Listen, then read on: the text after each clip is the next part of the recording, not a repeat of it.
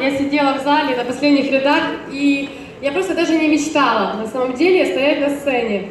Но у меня есть такой блокнот, где я записываю желания, и там одно желание выступить на звездном марафоне, на большой сцене. И честно, оно сбылось. Я вот только сейчас поняла про это желание. Потому что моя история, она началась с продукта, да.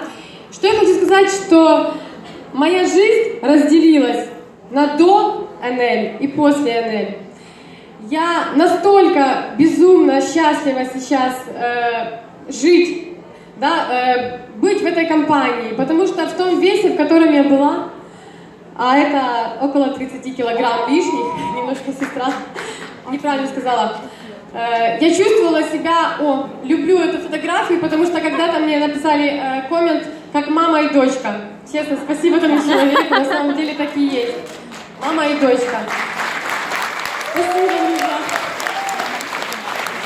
И что я хочу сказать, что э, если бы не Анель, э, я, возможно, бы и не стала тем человеком, которым я сейчас стала.